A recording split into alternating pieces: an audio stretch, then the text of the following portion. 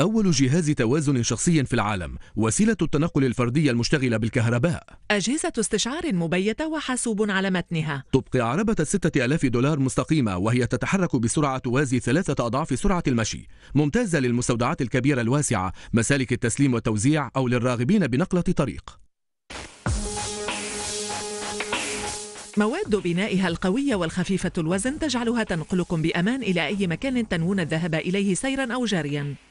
هيكلها الألومنيوم سيضم الأجهزة الإلكترونية للمركبة. يمكنه تحمل قوة اصطدام تساوي ثقل ثلاث سيارات كبيرة. بواسطة مكبس يركب العامل مقارن بمحركين. هذه المقارن ستصل المحركين بعلبة السرعات لاحقا. لأسباب تتعلق بالسلامة العامة فإن أغلب أجزاء المركبة تكون مزدوجة.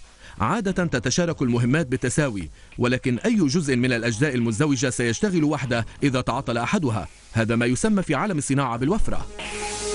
بواسطة ثلاثة مسامير لولبية عند كل جهة يركب المحركان داخل الهيكل المعدني. ثم تركب لوحتا تحكم في الطرف العلوي للهيكل. معالجات مجهرية في هاتين اللوحتين تتحكم في المحركات. ثم تضيف مجموعة استشعار التوازن وتتضمن خمس أدوات حفظ توازن جيروسكوب ومركبين هما مستشعرا الإمالة السائلان. هذه الأجهزة تقيس وضعية المركبة بالنسبة إلى الأرض ألواح التحكم تتفحص عمل هذه الأجهزة مئة مرة في الثانية. وتعدل المركبة بتدوير العجلتين إلى الأمام أو إلى الخلف حين يميل الراكب في هذا الاتجاه أو ذاك. ثم تركب مجموعات الأسلاك المسماة عدة الأطقم وتوصل بطارية المركبة بعمود التحكم. غطاء الهيكل المعدني يتضاعف مع صفيحة معدنية أرضية للوقوف فيها.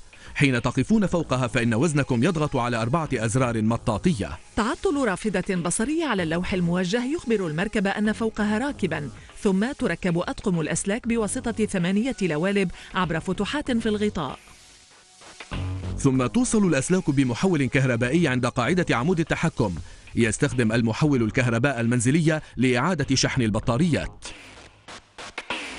داخل علبة السرعات أربعة من التروس تنقل الطاقة من المحرك وتدير العجلتين. أسنان التروس مقصوصة بزاوية لتعشق تدريجيا وبطريقة لطيفة فيبقى ضجيج المركبة أقرب إلى طنين منخفض.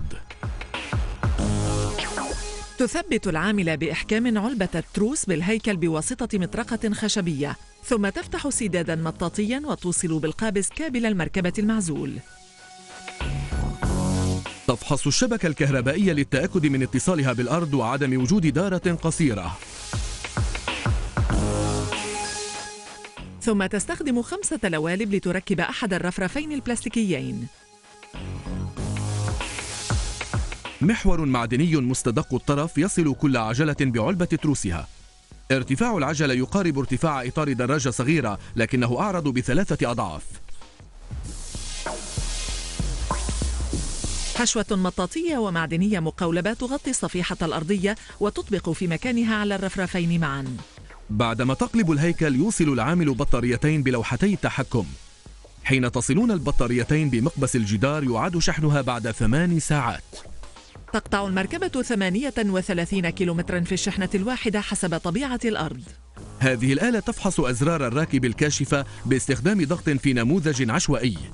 يجب أن يزن الراكب والحمول 45 كيلوغراما على الأقل وشرط ألا يتجاوز وزنها 118 كيلوغراما كما تفحص الآلة عمل العجلتين والمحركين. لاحقا مقود دراجة فوق عمود الإدارة الموجه للقيادة تديرون المسكة اليدوية يسارا أو يمينا. يستجيب المحرك بتشغيل عجلة أسرع من الأخرى ويمكنكم إدارة العجلتين باتجاهين مختلفين فتدور المركبة على محورها. مفاتيح الإشعال المزودة برقاقات إلكترونية تحصر سرعة التنقل 16.29 كم في الساعة. كما تعطي المفاتيح التعليمات للمركبة بتنفيذ انعطافات بطيئة أو متوسطة. إنه وقت المرح. يأخذون مركبة على حدة لاختبار قيادة. يصغي الفاحص إلى أي أصوات غريبة ويفحص الاهتزازات الصادرة من علبتي تروس.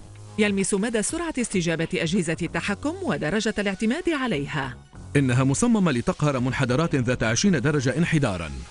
حسب الاحتكاك الالتصاقي بالأرض والوزن المحمول على متنها تنزل عن حافة الرصيف بكل سهولة. فقط بعد اختبار القيادة الشامل هذا تصبح المركبة جاهزة لرحلتها الحقيقية الأولى.